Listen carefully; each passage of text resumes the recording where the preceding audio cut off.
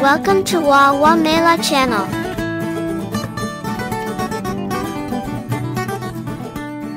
The Way of the Woods. Many years ago, deep in the North Woods, lived a great bear named Paw Paw. He was the strongest and bravest bear alive and respected by all the forest creatures. One day, all the animals gathered together to discuss some changes in the woods. A new animal that walked on two legs and was covered in strange fur was making its home nearby. They needed a leader and could think of no one better than Paw Paw. They all marched to Paw Paw's cave and asked if he would be the king of the forest. Paw Paw was thrilled and even though he didn't know what being a king was all about, he gladly accepted. Paw Paw then said I will need some helpers and I want Crowley Crow and Willard Weasel to be my advisors. Well, Crowley and Willard were honored, and both agreed to work with King Paw Paw. One day, Slither, the snake visited King Paw Paw and told him of a strange animal he saw close by. Paw Paw asked, Where did you see this animal? Slither replied, It lives with the strange, two-legged creature at the edge of our woods.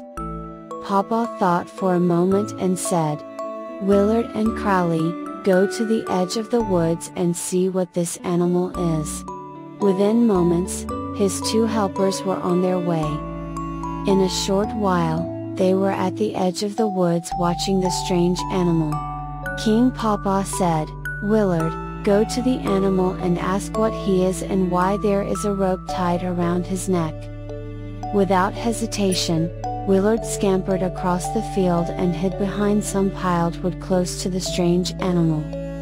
PSSD, said Willard. The strange animal looked around. PSSD. I am over here behind the woodpile, Willard said in a louder voice.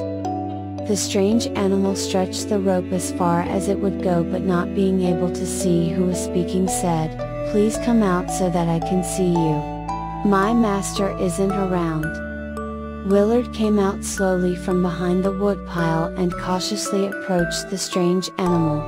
What type of an animal are you? asked Willard. I am a dog. And my name is Dillard. He replied. And what are you? He then asked. Me, I am Willard, the weasel representing King Paw Paw, ruler of the forest. Why are you bound to that stake in the ground? asked Willard. My master keeps me tied so I cannot go into the woods, replied Dillard. No animal should be tied, Willard shouted. I shall bite through the rope to set you free. You can then come into the woods and live with me. In one mighty bite, Willard set Dillard free. Then the two of them ran across the field and into the woods. After Willard introduced Dillard to King Paw Paw and Crowley, they all left. When they got to the center of the woods, King Paw Paw introduced Dot Dillard to all the other forest creatures.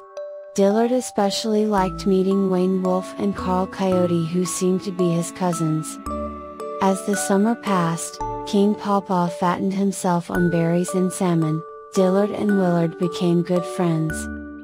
One day, Willard sniffed the air. Oh, what a marvelous smell was being carried on the breeze. Chicken eggs, fresh chicken eggs, Willard thought to himself. I must find them and have a snack. In seconds, he was off running through the woods and following his nose to his favorite treat. His nose led him to the strange creature's house, where he had first met Dillard. He looked around, all was clear. He followed the wonderful smell of eggs into a strange cave. He looked around and couldn't believe his eyes. There were chicken eggs, hundreds of chicken eggs all around him. As he reached for an egg, a chicken saw him and sounded the alarm. Soon all the chickens were clucking, squawking, and making a fuss. Then he heard something behind him. As he turned, he saw the strange creature that lived there. The one that Dillard called Master. There was no escape and Willard was terrified. The strange creature looked at Willard and said, You varmint. You are the weasel that set Dillard free. Why I ought to, but before he could finish Willard yelled out. Wait. Don't do anything to me. I can return Dillard to you. Just let me pass and Dillard will be back in a very short time. The strange creature stepped aside and let Willard free. When Willard returned to the woods, he ran to his friend. Dillard. Quick follow me. I need your help. Well, Dillard didn't hesitate to help his friend and off they ran with Willard in the lead. As they crossed the field, Dillard stopped. What's wrong? asked Willard. My master lives there and I am afraid to go any further. Dillard replied. Don't worry, said Willard. Your master is not there. Again, Dillard followed Willard right into the cave with all the chickens. In a flash, the master had a rope around Dillard's neck. He then looked at the weasel, tossed him an egg, and said thank you for returning my dog. Willard left for the woods without saying a word. Dillard remained with the farmer, making sure no weasel or any other varmint ever bothered his livestock.